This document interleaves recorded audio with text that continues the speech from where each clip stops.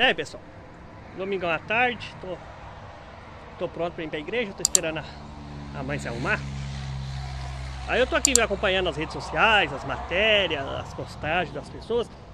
E, por, e agora com esse governo que a gente tem, entrou muito em evidência a discussão religiosa com a política. Eu já fiz vídeo falando que a política sempre, a religião sempre esteve no poder, desde a época que o faraó se intitulava Deus e, enfim, que agora o presidente ele apenas trocou de religião. Era uma religião, chegou ele, colocou outra religião.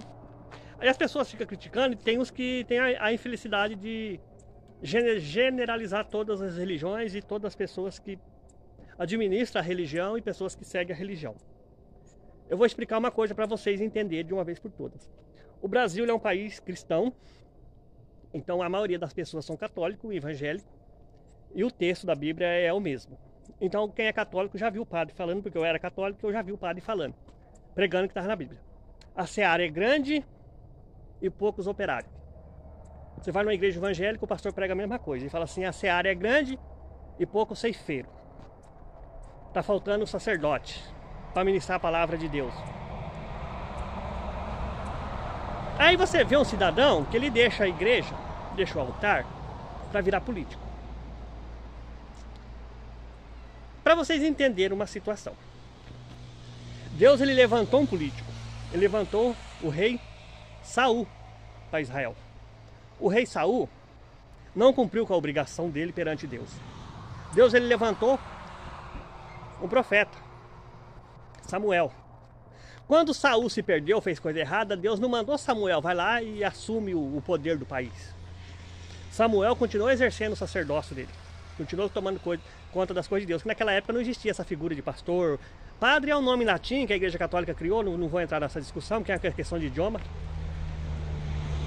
Ele, Deus, Deus, não tirou Samuel do ofício dele de, de, de, ministrar, de cuidar da obra de Deus. Deus ele mandou Samuel vai lá e unge Davi para rei de Israel. Deus ele colocou outro rei.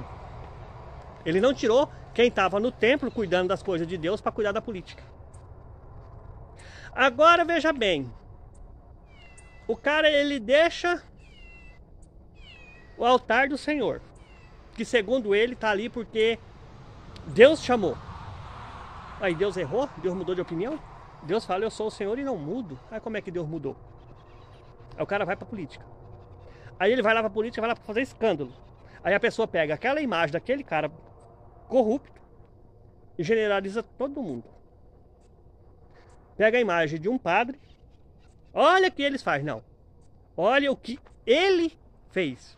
Não é eles. Inclusive eu tenho um primo que é padre e é uma pessoa muito séria. Aí pega um pastor, olha o que eles. Não, eles não. Olha o que ele fez. Não é eles, é ele no individual. Mas para você aí que tá, não sei porquê, mas só agora foi descobrir que no grupo de Jesus, era 12 tinha Judas no meio, é, é, o, é o trecho lá de Samuel. Deus ele levantou um rei, o, o rei Saul, fez coisa errada, teve que tirar o rei. Deus colocou outro rei, que era o Davi. Samuel continuou sendo sacerdote, ele continuou sendo profeta. Ele não virou político, ele não virou chefe de Estado, ele não virou parlamentar. Ele continuou no ofício, no ministério que Deus deu para ele. E falando desse presidente, ele falou aqui num culto que ele sai preso, morto ou vitorioso. Ele professa tanta Bíblia. Na Bíblia está escrito que Deus estabelece reino, Deus remove rei. Então Deus pode manter ele lá e Deus pode tirar ele de lá. Agora precisa alguém avisar o presidente esse versículo, que ele não conhece. Deveria conhecer.